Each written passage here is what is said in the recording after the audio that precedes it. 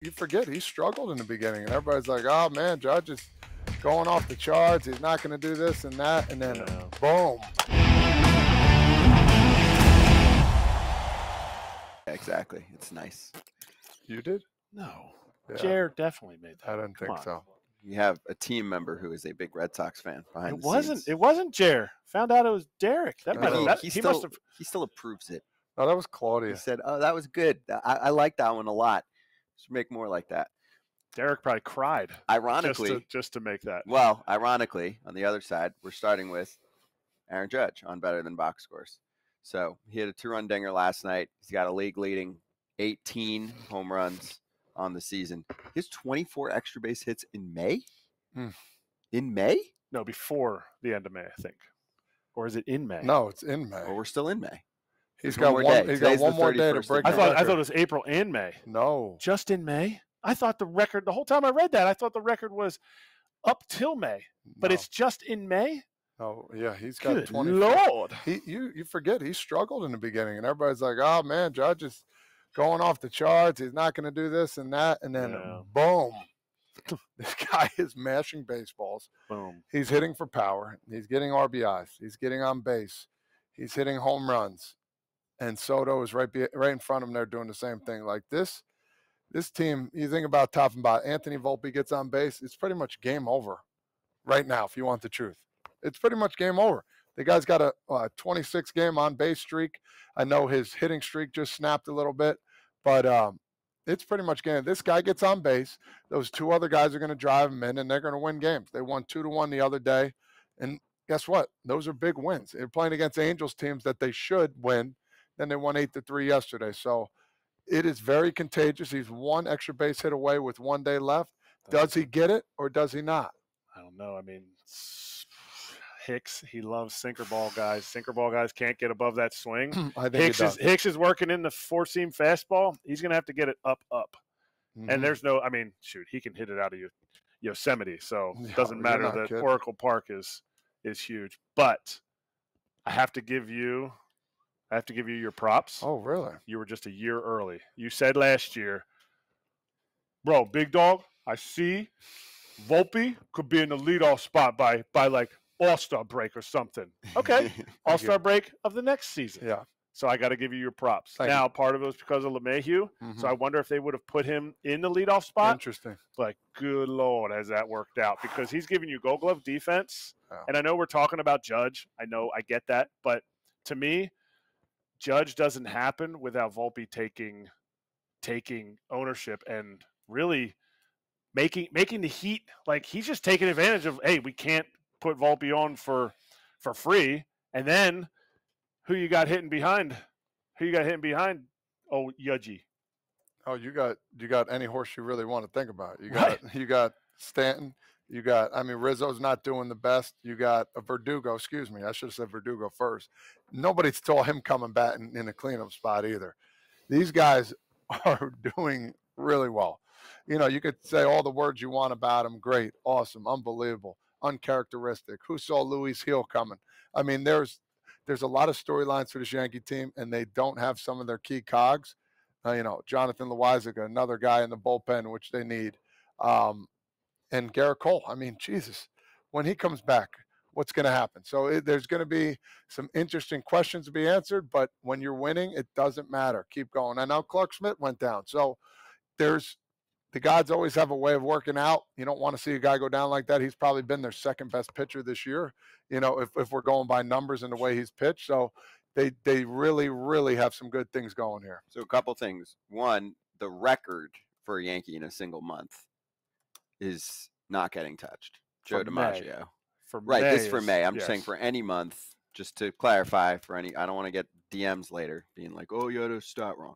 Joe DiMaggio had a franchise record, 31 extra base hits in 1937. We all remember that. But also, 31. not to be Debbie Downer, but Uh, Clarke Schmidt hurts.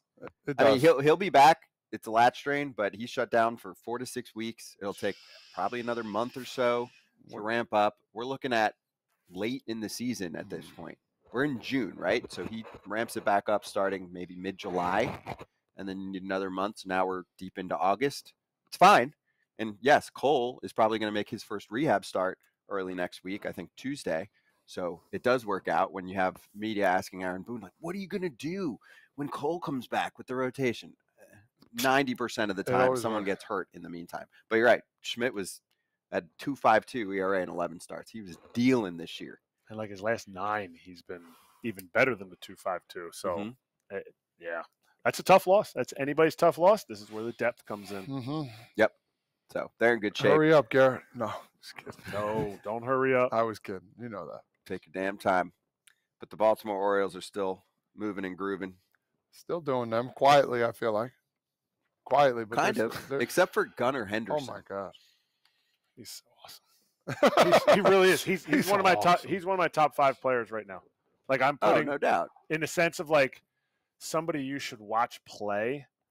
Like to me, you, you can't turn the TV off right now if Tucker's swinging, Seager's swinging, Gunnar Henderson swinging, Judgy swinging. Like those guys currently right now are unbelievable. And Henderson, Gunnar Henderson is doing it in the leadoff spot, which is so Hmm. awesome. I love I love the not resurgence, but just the change of what people think a leadoff hitter should be.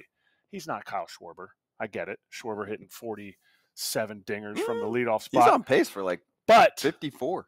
but he hits 54. He's on pace for Yeah, 54. he's not going to get 50. it shows, and I think it's like 123 RBI he's on pace for. Yep. Yep. So Those to me, that numbers. shows what kind of depth you have. We talk about the Braves and how Kelenic and Duvall, the bottom half of that lineup, need to pick it up from a banging lineup. This whole lineup, the Orioles' whole lineup, Colton Cowser was hitting seventh or eighth for I don't know how long until they're finally like, look, we got to move you up. And they just the whole Westburg was hitting hitting eighth, eighth or ninth, and that's where he's getting all these RBIs from. And you only lead off one time, so the whole fact that oh, he could hit 54 homers from the leadoff spot. It's only once. It's only once. He has one chance to hit a solo dinger. Mm. Can you also make the case that on a team like this, it means more because of the depth you have in your lineup? Like some teams don't have it six or seven through nine. Like you just mentioned, there's there's going to be mashers for Baltimore seven through nine, and if they're not mashing, they're going to hit the bench or go back to the minor leagues, and they've got five other guys from AAA to bring up. You know what I'm saying? You Like, if you're you on a team- matters more. If you're on a team where you look and you're like, ah, they're kind of top heavy, seven through nine is is not great. Like actually, the Dodgers have been like that most of the year, right? Dodgers too, and you're yeah. leading off. It has a little less to it because you're often actually stepping up and no one's on for you, right? Because there were just a few outs before you. In this case, like you mentioned, dudes are getting on for him. They're not solo homers from the leadoff spot. They're not, but you also can't move them. You can't move them to like, especially as a lefty. You have Adley. When Adley's facing right-handers, he's doing well. But maybe at you know you'd switch. uh, I, I don't. I don't know that you want to switch anything. They're they're doing unbelievable. But with the bottom of that lineup, I I don't disagree with you. Maybe you think like, hey, the bottom of this lineup is getting on. We want somebody right away because normally you'd think that many homers. Hey, let's slide him into three, four spot. Maybe even well, now not four nowadays. two not nowadays, two or three, but hey, we got to we got to get more RBIs out of out of Gunnar. You don't think about that. You don't think about that with that with that depth in their lineup. I, I just feel like they're the less you hear about them. I mean, no Gunnar Henderson. I feel like the better they're doing. Like it, it's weird to say. Like they've always they've never been that team like the Yankees. They're always talked about in the Mets, and that's just. I think they like. They're not. I'm not saying they're under the radar, but they're just they're just going here. You know what I mean? They're just grinding. They're just climbing that mountain and just going and Who are you more scared of? A team that is just an absolute locomotive going downhill, Hmm. or a team that's a rot? To me, I would say that the Yankees are a rocket ship. The Yankees are like, we didn't know what we were going to get, Yeah, but man, they boom. exploded out. They're doing it. yep. The Orioles are like, come on come on this ride. Come on this ride. We're, we're just we're just moving downhill. There's nothing Yeah. stopping us. Who are, Right who now, are you afraid of? Well, I'm afraid of the Orioles because they took three out of four for one from the Yankees, and they haven't played much against each other. So, I would say the Orioles right now because they're, I know they're not in first place, but still they, when they play more and they play against each other, then my answer might change. But these guys are all silky smooth, just going riding that wave, man. They're young. Mm, That's that's what I like unlike about you. them. What? Dude, I'm so much younger than you are, What? but and more mature. But I didn't say that. they're young.